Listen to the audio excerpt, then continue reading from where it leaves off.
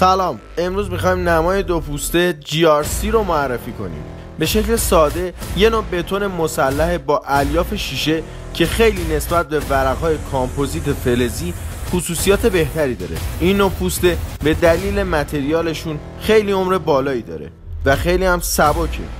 به این دلیل که قالبی اجرا میشه و اصلا اتلاف متریال نداره. اما ورقهای کامپوزیت با برش شکل می‌گیرن که مقدار زیادی از اون پرت میشه. جی ها با قالب ریزی ساخته میشن. پس تو طراحیشون به شکلهای متفاوت تری قابل اجرا. به همین روش میشه پنل های با ابعاد خیلی بزرگتر و درس های کمتری تو نما داشت و نماهای زیباتری رو میشه اجرا کرد. با ما همراه باشید و ما رو به دوستای خودتون معرفی کنید.